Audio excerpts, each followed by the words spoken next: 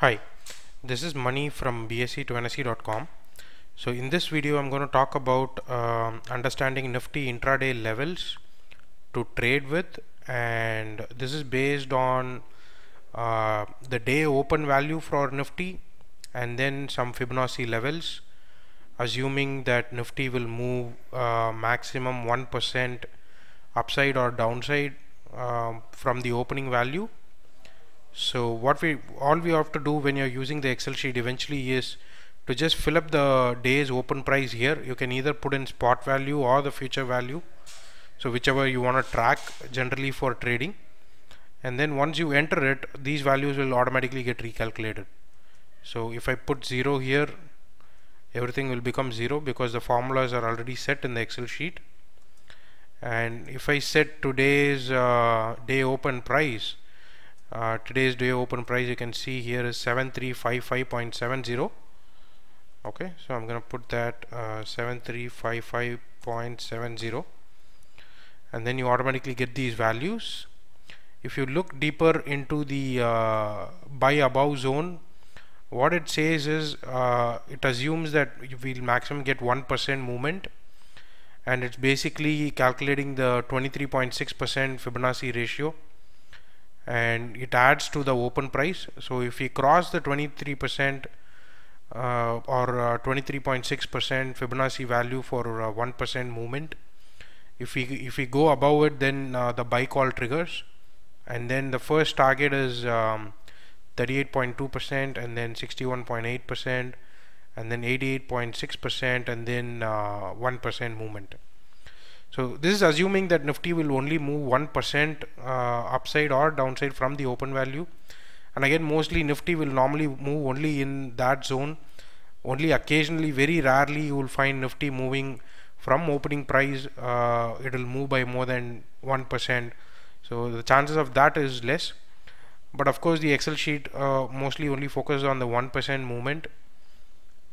And similarly, on the sell side, it, it is just the inverse below the open price it will assume that the last target target 4 basically what it does is it calculates 1% away from the opening value and that is the target 4 and to trigger the sell uh, call it assumes that uh, you have to cross the 23.6% Fibonacci ratio.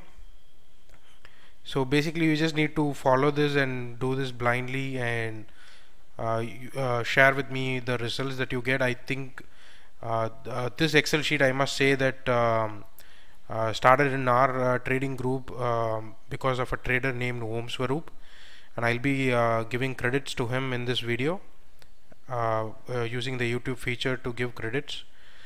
And by the way like I said uh, at the top it says Nifty fund levels 1 SD 1 SD means 1% standard deviation uh, again based on Fibonacci levels. And I'll show you how it almost worked today perfectly. Today's uh, spot price open price was 7355.7 and the buy above price was 7373 and the fourth target was 7429 third target was 7421 second target was 7401 you can see that all targets got hit today intraday. And you can see here uh, and you have to apply this um, try and uh, uh, put in these values by 930 you can put in the open price. Post 930 you use these triggers uh, for buy and sell.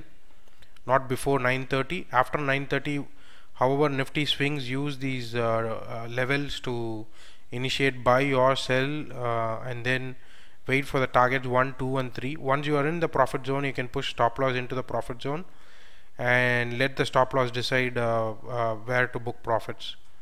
So again you can see here that today it uh, it initially crossed 7400 pretty easily the target one.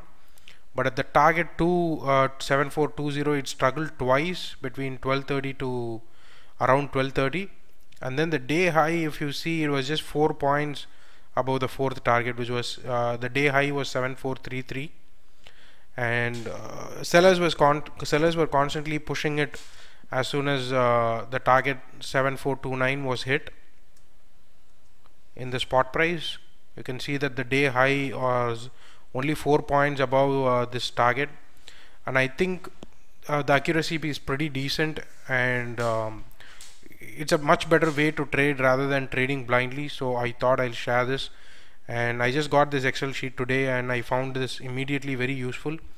For me personally I use it in a way that I don't use it all the time in intraday. And again I would suggest not to trade based on this all the time.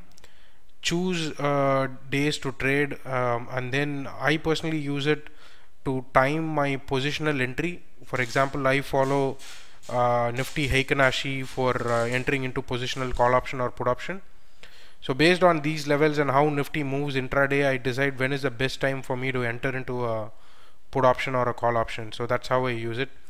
And if anyone wants this uh, Excel sheet just drop me an email at rmani84 at the rate gmail.com I'll send it to you.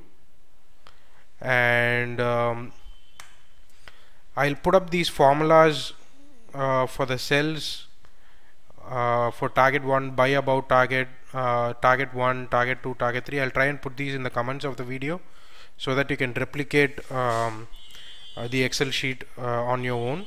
And that's it for now. Subscribe to our YouTube channel and stay in touch. Um, if you want to join our trading group uh, go to bse2nse.com and there's a link on the website to join our trading group. That's it for now. Thank you. Bye bye